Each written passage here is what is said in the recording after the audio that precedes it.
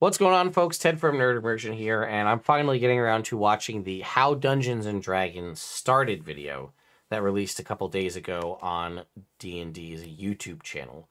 It is a 38 minute video. I'm going to play it at 1.25 times speed to kind of speed that up a little bit, and we'll see how we do. So, again, if you haven't subscribed to the channel already, please consider doing that. And uh, let's dive in. This is the big question. When did D&D begin officially? Because we've talked, we've talked about this before. On February 7th, 1974, Gary Gygax takes an index card because he, he was too cheap for postcards. he used index cards. He put a postcard stamp on an index card. I think they were just probably easier to write on because an index card gives you lines, right? And he, on an index card, he, he writes a note to Dave and tells Arneson, uh, printing on the first draft, the, on, printing on the first original Dungeons and Dragons is almost done. Almost done. The 7th of February, almost done. Your copy will be in the mail soon, and we have that postcard. Well, that means that printing wasn't done yet. And at this early stage, the only way to get D&D at this point was through the mail. You would send in a hmm. $10 check to TSR, which had only been created a couple of months before in late 1973, Yeah. and they would send you a box. Now, some people, some stores had begun to order copies, but it wasn't really on shelves. Right. But in the second week, second or third week of February is probably the soonest that we can say fans got their copies of D&D in the mail.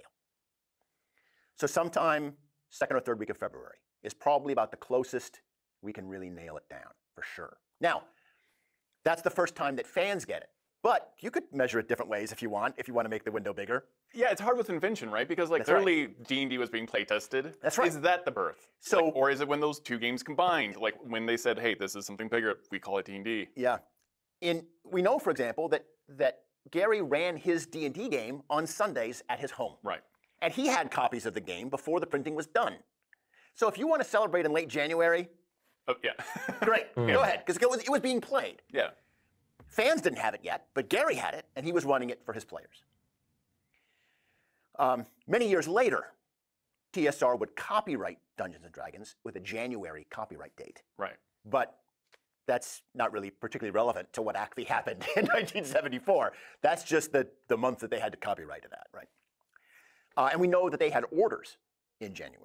So if you want to track by when they sold the first copy, Yeah. sure, okay, late January. So you are involved in a book project, That's correct? right, What is that's that right. book? So our book is The Making of Original Dungeons and Dragons, 1970 to 1977. It's a long title, but it's a huge book. and The Making of Original Dungeons and Dragons, 1970 to 1977. I also wonder if this means we might get like 1978 to sometime in the future and get like a series of these books over time, which would be kind of cool. collects original documents from the 1970s that helped to create D&D, and then the first version of D&D, and then the things that came out for original D&D before Advanced Dungeons and Dragons. So it collects 36 key sort of important documents, and that includes some things people will recognize, like we reprint the original brown box, the first printing of D&D in its entirety, every page. Oh We have wow! all of the first three supplements, the key supplements for D&D, Greyhawk, Blackmoor, Eldritch Wizardry, uh, first printings in their entirety. There are some exceptions to which I'll get to because some things we had particularly cool documents of that weren't first printings or second printings, but we had a really good reason to use those. We have a whole early part of the book that covers uh, material before Dungeons and Dragons even existed as a name. Yeah. The thing that people have never heard of before, and very few people alive have ever even seen. We have the original draft of Dungeons and Dragons that Gary Gygax typed out on his home typewriter in Lake Geneva in 1973. And Wow. it is our privilege and great responsibility to share this culturally and historically important document with the world and with fans. Let's rewind a little bit and talk about this book more broadly. It's broken up into four sections, hmm. four parts, that tell the story of the creation of Dungeons and Dragons. So we could talk about the Arneson Gygax controversy a little bit, about the relationship and, between them. There's a lot of concern, I think, amongst old fans about who is more responsible, who gets most of the credit for Right. Dungeons hmm. and Dragons. And I think that because Gary just wrote more, he's more visible. People associate his name with that. But Arneson was doing critically important work, as we trace in this book. And so if we try to assign credit, we, we feel like we can't really do that. Like both men's work is absolutely vital. Dungeons and Dragons would not exist without both of these people. Hmm. And importantly, it's 50 years later. We just both of these men are dead. We we don't have a lot of clarity about what exactly happened. We have some things, and we have a lot of documents that we reprint in this book. But I think there are some questions to which we will just never know the full answer. So our stance throughout this book is that both Arneson and Gygax are absolutely vital. Hmm. That there's some things we will never know, and we're just going to have to take it at that. But let's go back to kind of breaking down the four chapters of the book. So part one is everything before D&D existed, and it tells basically two stories. The first story is Gygax writing in fanzines. We've got he wrote he wrote an early article about the five different colors of dragons that came out in Thangorodrim, and these are the same dragons that show up later in D&D. And he gave them this, those same weird Lat- pseudo-Latin Yeah. names, Draco Electricus and all that stuff. And then he writes articles about explaining medieval weaponry and medieval armor in his local fanzine, stuff like that. And it culminates in the creation of Chainmail and the fantasy supplement to Chainmail. Now, Chainmail was a medieval war game, and that was not all that unusual. But what's unusual about it is it had this section at the end that described how to use your medieval miniatures to play fantasy war games. Okay, This hmm. is the first fantasy war game. All the fantasy war games that you can think of, and science fiction war games, and all of those things, those are all descended from Chainmail, from the fantasy supplement for Chainmail. And we reprint that in its entirety. We actually use a second is printing so for the cool. fantasy supplement because it included some new spells and some other new rules that show up later in D&D. Meanwhile, in Minneapolis, St. Paul, in the Twin Cities area, Dave Arneson is a grad student, 20-something grad student studying Napoleonic era. And he takes the rules for chainmail and runs a new kind of game. In his wargaming group in the Twin Cities, there was a kind of game that had been created and played, which they called, in that club, they called a Braunstein or a Braunstein game. And what this was, the name comes from a game that was run, it was a Napoleonic war game, but players were not assigned armies. Some of the players were assigned individual characters Yeah. in the town that the Napoleonic army was invading. And Arneson was assigned the role of a student in this war invasion, and he had his own sort of sub goals, his own uh, objectives to accomplish that he could succeed at even if Napoleon conquered the town. The players of this group loved it, they just dug into it. So they started to do different versions of the Braunstein. They did a Wild West cowboy Braunstein, which they called a Brownstone, right? and Arneson played El Poncho, right? It was his, his cowboy character in- Yeah. in, the, in this Wild West Braunstein. So we have the newsletter where Arneson announces what he called at that time a medieval Braunstein. Well, this is the game that would become Blackmoor. Braunstein, Brownstone, Blackmoor. Right. Right. And Blackmoor was a, a fantasy medieval war game with role playing aspects to it. So everybody had a character, right? But uh, they also had t- uh, their castle or their fortress or their army, and they were kind of running their little empires and their little domains, right? And they would come together and they- would explore this multi-level maze, dungeon maze that was called Castle Blackmoor. It's underneath Castle Blackmoor. Blackmoor campaign only ran for about nine months, the original Blackmoor campaign, but it's hugely influential. And we have a lot of documents from that campaign. We have character sheets from people who played in it, the wizard Gaylord. And we have after action reports of what happened during game sessions of the Huh. Campaign. And Arneson was using the chainmail rules, but he had to invent a lot of new stuff. He had to create new rules for what the players wanted to do.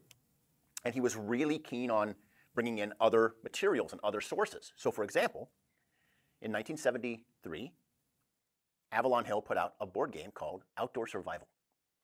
And Outdoor Survival had a hex map that depicted mountains and woods and plains and rivers. And the goal of the game was to cross the wilderness without dying, right? Yeah. You had a life level index that tracked your, your uh, starvation and dehydration and injuries from animals. And it started at 15, and when it got to zero, you were dead. Right. Well, that sounds kind of like hit points, Yeah. doesn't it? Right? and Outdoor Survival had random encounters, which did not exist in the Blackmoor game until then. So It's wild. Arneson me. uses Outdoor Survival as his outdoor wilderness travel map. He imports random encounters from Outdoor Survival, and he's innovating and creating on the uh, on the Blackmoor game. Well, in 1973, in January of 1973, Arneson travels to Lake Geneva. He'd already met Gary at a previous Gen Con. He travels up to Lake Geneva and he Oh, Gen Con was happening already.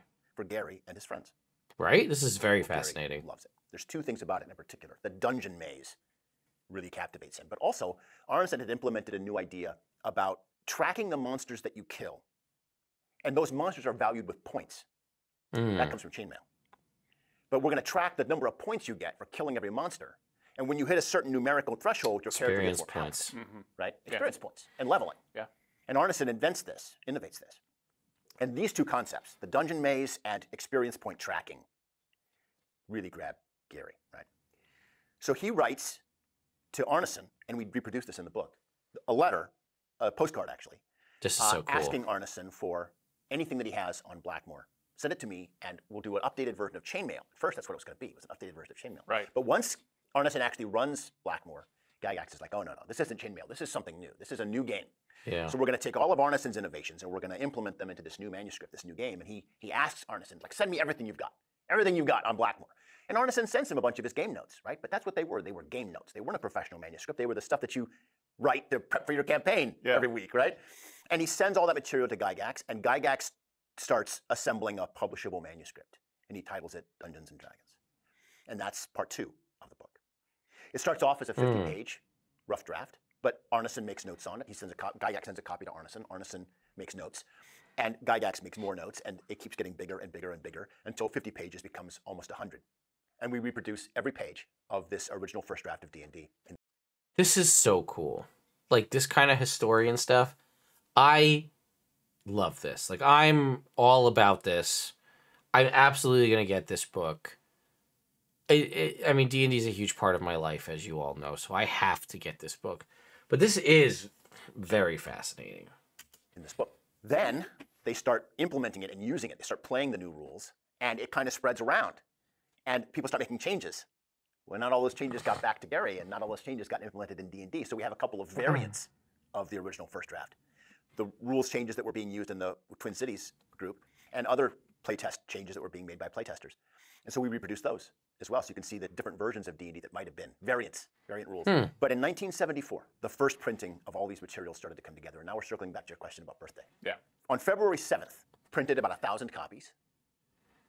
And the first edition of D&D has never been reproduced by Wizards of the Coast before.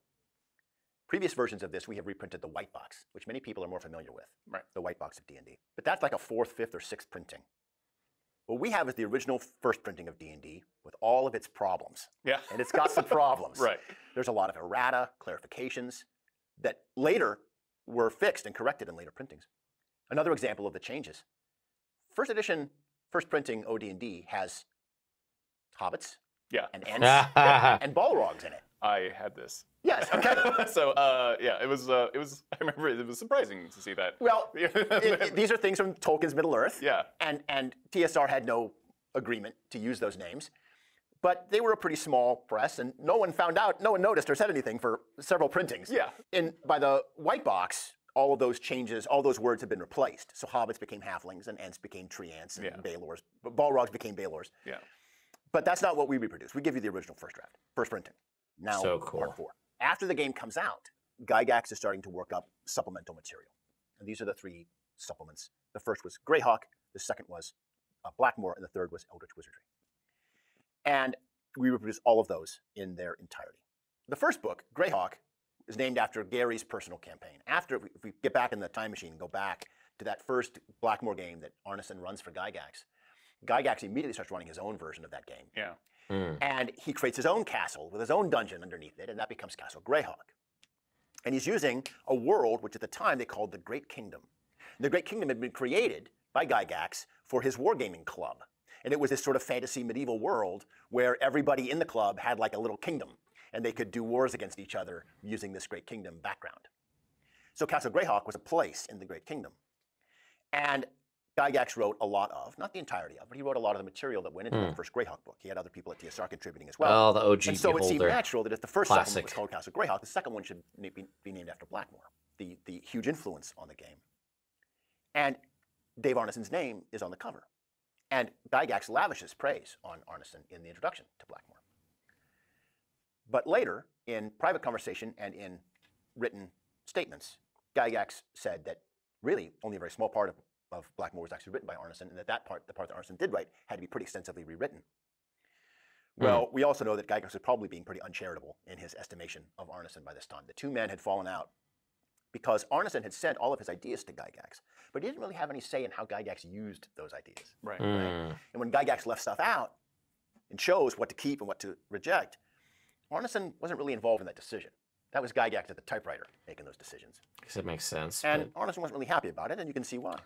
Like, yeah. And so, although he did end up joining TSR and he moved out to Lake Geneva and he worked there for a while, uh, the estrangement was pretty far along by 1975. Oh wow, that quick, when huh? these books, Greyhawk and Blackmoor, came out. So we actually have we have the in-house TSR copy of Blackmoor, which has Gygax's notes on every page Oh, saying who wrote the material on that page. Wow. It doesn't go the whole way through the book. It only goes through about, about up to page 30. But it gives us an idea of certain sections that we know were written by other people. And, uh, and then Eldritch Wizardry had even more fan content because the idea was kind of open the book up to fans and let people write. What a world. Take all those ideas and we'll, we'll roll them into the book. And meanwhile, uh, you're still getting more new D&D material in Strategic Review, and then the first issue of the Dragon comes out. And as an example, the first appearance of the Bard, of the Illusionist, of the Ranger. These are all created by fans. And Gygax Hmm. Really? pretty much just cut and pasted them and dropped them into the Well, Advanced D&D Player's Handbook when that came out later. But right around early 1977, the first issue of Dragon has come out, and it's got some stuff for the Illusionist, for example, in there. It's got the Bulette, the first appearance of the Bulette Yeah. iconic monster. And all that stuff is official, is considered officially part of D&D. But in issue two of the Dragon, none of that stuff is official. They Oh, clarify. interesting. So that kind of creates a very interesting door. Now, what, what was going on behind the scenes is that TSR and Gygax had come to realize that they needed a whole new version of the game. They needed to almost rewrite the game really from the ground up. Gygax had been planning a kind of updated version of original D&D, which would be three products in one box Oh, box set. one book to be a player's book, Yeah. one book to be a referee's guide. The term dungeon master was not originally a part of D&D and it was created by Referee. fans and it slowly works its way into the game and you can see that in the materials in this book. So cool. Ugh. Second book for referees. And then the third book was going to be like a beginner's introduction to D&D, like a kind of quick start on-ramping for the game. And he hired a professor named uh, Holmes, Eric Holmes, to do that. Well, Holmes worked very quickly and very effectively, and he created what we now call the Holmes Edition Basic Set D&D. But the player's book and the referee's book were taking a lot longer. And so Gygax wasn't really sure what to do at first, but it became pretty clear that we had to just rethink this whole three products in one box thing from the ground up. And this eventually led to Advanced Dungeons and Dragons. So we end our book with that. The I think there's gonna be more make a whole books in the game. future. And there were other reasons to do this too, because Arneson and Gygax were fighting over the legal rights hmm and and uh, and some folks saw the creation of a whole new game to be a solution to that debate. Mm, makes that makes sense too. This has been a long kind of survey of everything that goes in the book, but we've left out a lot. Like there's a lot of really interesting and important stuff that we've kind of skimmed over, and I'll just give a few examples. When D&D first came out, people didn't understand this game at all. What is it? Sure. How do I play it? what is a session of this game even like? Yeah. And so Gary wrote a column in a European wargaming fanzine called Europa, where he explained the game and gave an example of play, which the brown box does not have. Right. There's no sample play in the original D&D. Hmm. Well, we have that column in Europa, and we reproduce So it cool. completely. And you can see Gary's advice on how he thinks the game should be run, how it, how it's played, what it's like. And in that article, we get some really interesting insight into how the game was played in 1974. It's very, very different than the game that we play today. Gary opens up his advice to DMs by saying, Your players will start off working together. It won't last, he says. Pretty Oh. quickly, after they get out of the dungeon, they'll split up and they'll all want to go do their own things. And they'll want to recruit followers and they'll want to take over the town or they'll want to start businesses or they'll want to find magic, uh, uh, magic resources uh, to, to boost their wizard's power or whatever. Let them do this. Encourage them to do this and, and, and let them all kind of become rivals in this overland world map that you've created. And they come together once in a while to go another level deeper into the dungeon or to fight off some big archenemy that you've created for your setting. But, but mostly, they're world build, they're empire building and fighting each other and conspiring. Or maybe a couple of them get together and go off on an expedition and then they come back. The whole way that we think of a D&D party as like these five or six adventurers that get together and go down into a dungeon and, and they stick together. They have hmm. a whole adventuring career together and we never split the party. Like that whole notion was totally foreign to how the game was played. Crazy. I, Amazing. It is. It's really, really inter- interesting. And you can see why it was done this way when you look at the, the logistics of running the game. Because Dave and Gary both had like 16 players in their games, right? It's a, it's a lot. And even uh, at one point, the, the book says, well, you probably want to keep it to like 12 players, 10 players, if you're just 12? brand brand new and starting. Like if you're if you're a rookie DM, 10 players, that's your limit, right? I think we have to we have to start a 12 to 15 player game Yes. in the studio. There you go. Just to see I'm how in. this feels. I'm in, but I'm not running that game. so, so you have first off, you have very large groups, yeah. and secondly, the players were kind of playing the game every day. Like they would give Dave or give Gary things that they wanted their character to be doing basically all the time. It was a 24/7 constant thing. Hmm. And as a referee, as a DM, you just can't create enough content Yeah. for 16 players playing 24/7, right? Like who 16 has the time players. to create dungeons and adventures for everybody in this world? Instead, hmm. you have to be like Godzilla versus King Kong. You just lean back and watch them fight, right? and and instead you create like the mega dungeon, the big infinite levels mega dungeon that player characters cannot explore alone. They have to come together.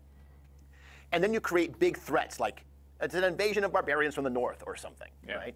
And this becomes kind of your big story arc. But the real gameplay is the individual actions taken by characters as they amass power and rival each other and try and steal magic items or resources from each other. And it's a very, very different kind of game.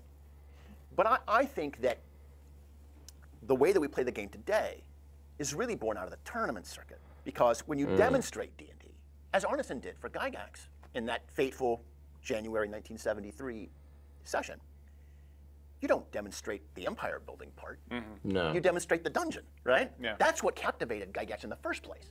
Was the maze, the dungeon-like maze, Yeah. right? And players would come to Gen Con and they'd play the Tomb of Horrors or the Lost Caverns of the Tsojcanth or whatever. Soji. And that was That's their you say experience of D&D. Was a bunch of people getting together, and the groups were very large. A bunch of people getting together and going through the Tomb of Horrors, and half of everybody dying, Yeah. right? And that dungeon experience was the game. And you take that back to your players, and you run that game. And there were other things in these books about building your castles and hiring your soldiers and all that stuff, but but it didn't grab players the way that the dungeon delve did, you know.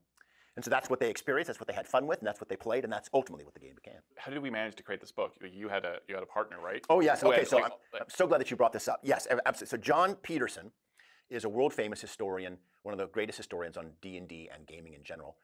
Uh, he's the author of Playing at the World and the Game Wizards, a history of TSR, um, and many other books, uh, Art, uh, Art and Arcana, uh, Legends and Lore. Um, uh, he even helped do to do Heroes Feast and a bunch of other books about D and D and about gaming. Jon came to us with the first draft that I described, the hundred or so pages. And and he said, you know, we have to publish this. We have to get this out to the world. How are we going to do that? And that's when we started to figure out what was the best way to do that. And coincidentally, the 50th anniversary was coming up. Yeah. Right? well, that seemed like the perfect time to do it. Mm. That's the Venn diagram, right? We take we, we, we take this incredibly important historical document that was made 50 years ago Yeah. and release it to the world in this anniversary celebration. So then it was just figuring out how are we going to do it? What else are we going to put in this book other than that? And how are we going to how are we going to do it? What are we going to make? And Jon provided uh, the vast majority of the uh, of- the documents in this book, and also provided a commentary to sort of situate each document in the in the history and in the narrative that we're telling about the creation of the game. And he explains all the people, the playtesters, and the artists, and everybody that was involved in making these games happen. That's a And we're deeply indebted to him because this book For is not about him. Holy we also cow. had a fantastic graphic design and art team.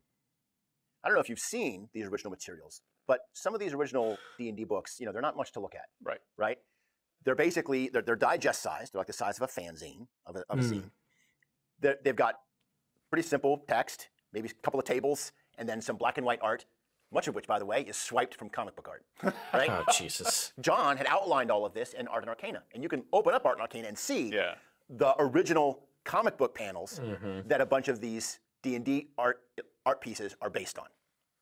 Classic. The most famous example being the knight riding a horse on the cover of the brown box, Yeah. which is straight out of a panel from Doctor Strange, when that's that's the Black Knight, the character, the Black Knight riding the black horse. Perfect. So Anyway. there are a lot of documents that you, no one's no one else has this and no one else could publish this. That's right. This this is a book that only Wizards of the Coast could do.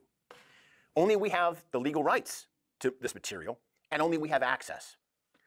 Now, if you want to spend $800 or $1,000, you can buy your own copy of the first printing of the brown box. Yeah. I can't vouch for the quality, Yeah, and so right. it shows up on your on your doorstep. Hmm. Or you can get it Yeah. for hour in hours, where we give you every single page scanned in perfect detail, and everything else that's included in this book.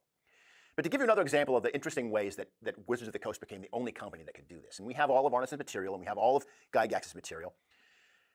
Now, some of Arneson's stuff we were not able to include, which was which was unfortunate because Gygax just wrote a lot. Yeah. And so we really wanted to include a lot of Arneson's material as much as we could. But in 1977, as the sort of demonstration of the estrangement, the animosity between Arneson and Gygax, Arneson had left TSR by that point, and he had started to write his own D&D products that he was going to publish. Uh oh. He took his Blackmoor material, and in cooperation with a company called Judges Guild, he Ah, published a book called The First Fantasy Campaign. I know And this. it includes a lot of early Blackmoor material.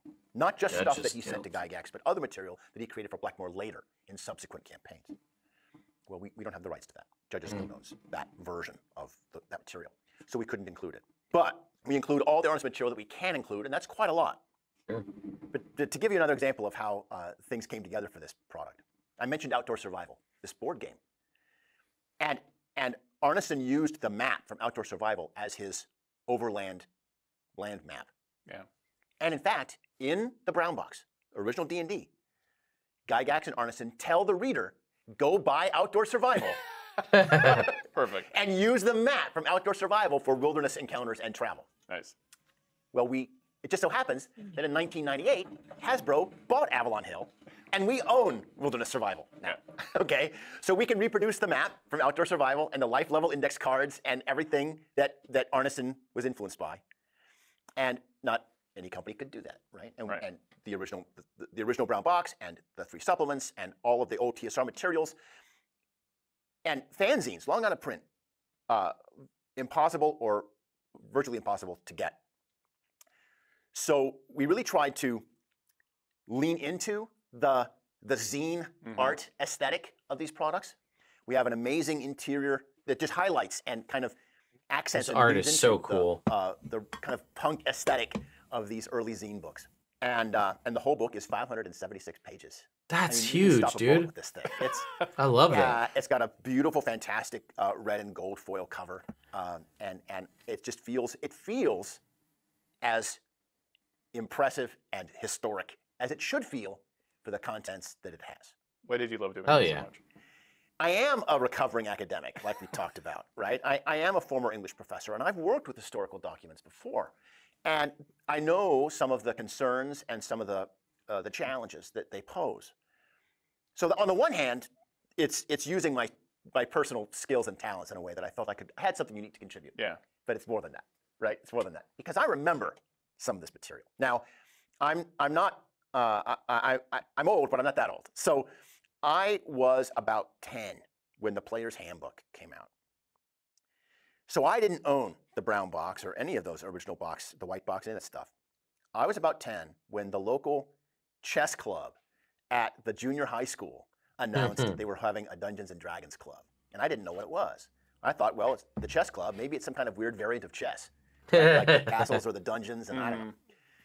So I showed up at uh, the chess club, and, and the older kids at the junior high had the white box. And I made my first character, which was Antele the Quiet. He was a monk. We were using rules from Eldritch Wizardry. And the monster manual was out, but not the player's handbook or the DM's guide yet. And so I have a, a lot of fond memories of these early years of the game. Hell yeah. And, um, and it felt like I was the right person to be making this, you know. And it's a it's important that this is a historical document. So there are Yeah. things. It was a different time.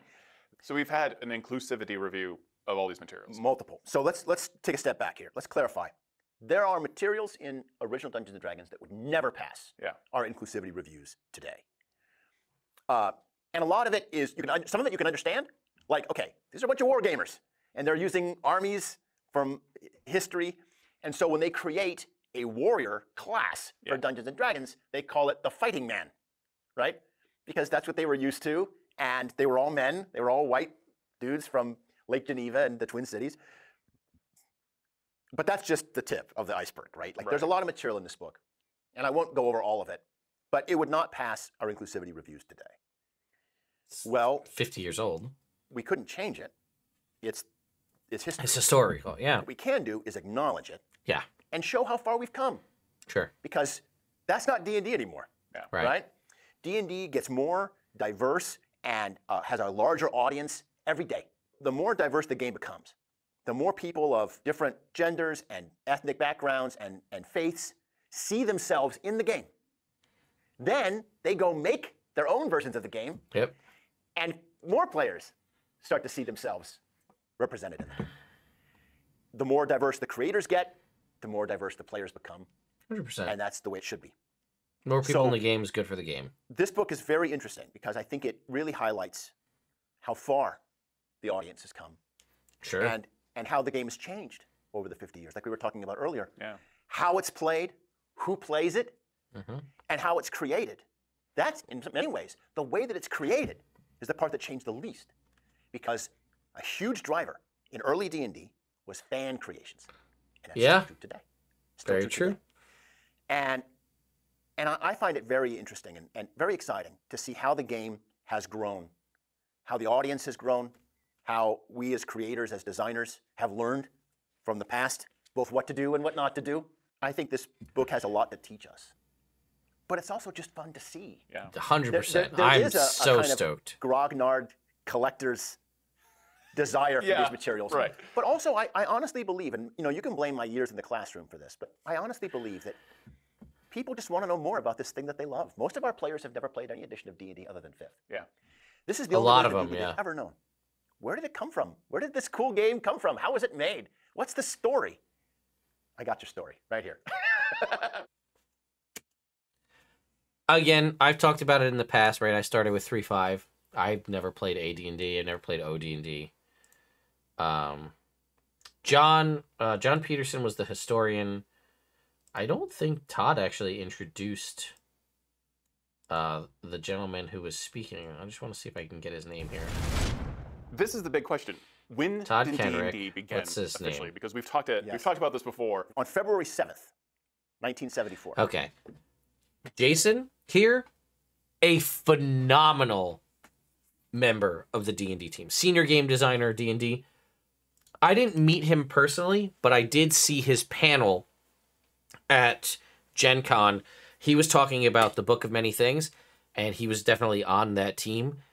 The man is amazingly passionate about this game, and I think it very clearly comes through in this video as well and I'm stoked that he's involved because honestly, from the little bit of stuff that I've seen, the stuff that he touches is good quality content for Dungeons and Dragons.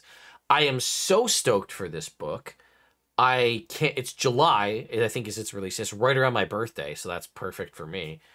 Um, and yeah, I think he kind of hit the nail on the head on basically every single thing he said. I mean, so many of us play this game, have played it for years.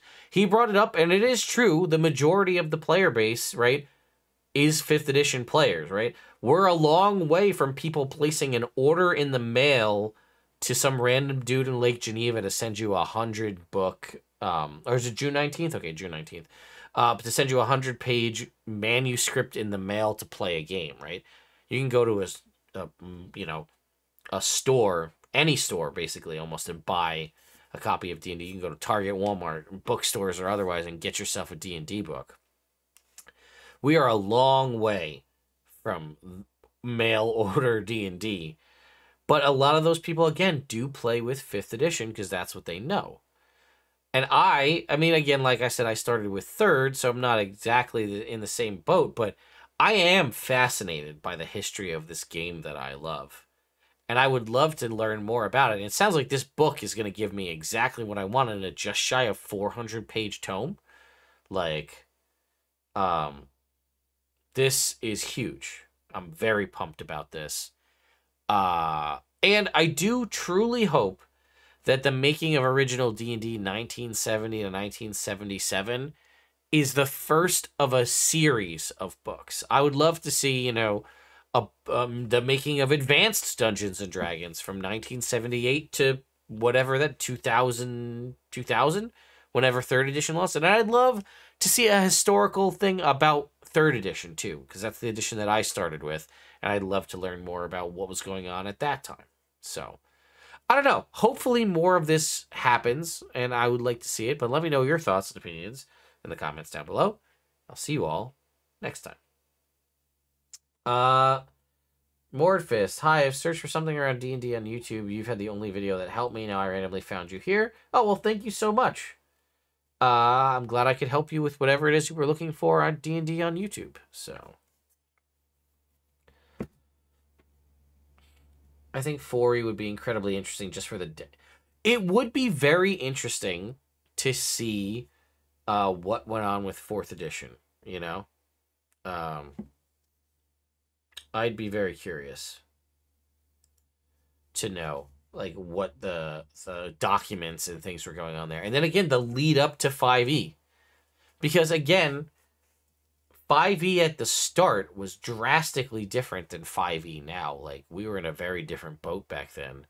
It wasn't as popular as it is now by any means. It still was very niche uh, at the start, you know. I mean, there wasn't there was no critical role. There weren't all these podcasts and people doing all this stuff about D&D. It was very much just like any other edition of Dungeons and Dragons and then it eventually it blew up but at the start, it was basically like any other edition. It's like we got to recoup what happened with Fourth.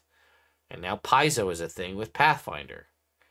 They used to write books for us and adventures for us, and now they're making their own system. So it'd be very interesting to see the history. I hope this continues with tomes covering basically each edition until we get to fifth.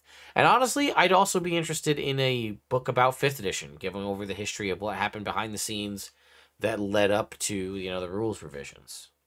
I don't know. Hopefully, more of this happens, and I would like to see it. But let me know your thoughts and opinions in the comments down below. I'll see you all next time.